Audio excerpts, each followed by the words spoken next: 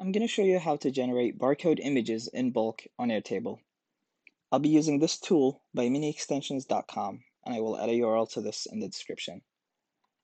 So we have a column of barcodes and this is a barcode field type and we want to generate the barcode image for each and place it into this attachment field so that you can scan the barcode if you'd like.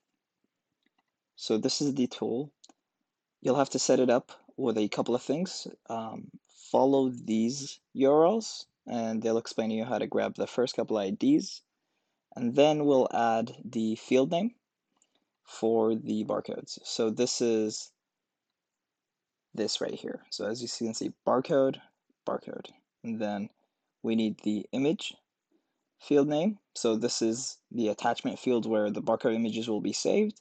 And then we have a barcode image type. So barcodes have a lot of types, and it's a little bit confusing, or it can be. So you need to make sure that you have the right type for the right numbers.